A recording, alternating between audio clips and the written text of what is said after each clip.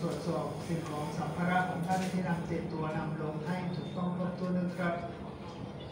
ท่านที่จะเดินทางไปกับรถขบวนนี้โปรดนำสิ่งของสัมภาระของท่านขึ้นมาจัดหาที่นั่งภายในขบวนรถให้เรียบร้อยด้วยครับ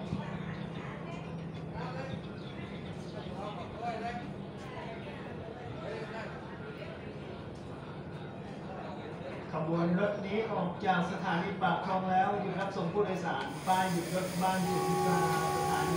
น์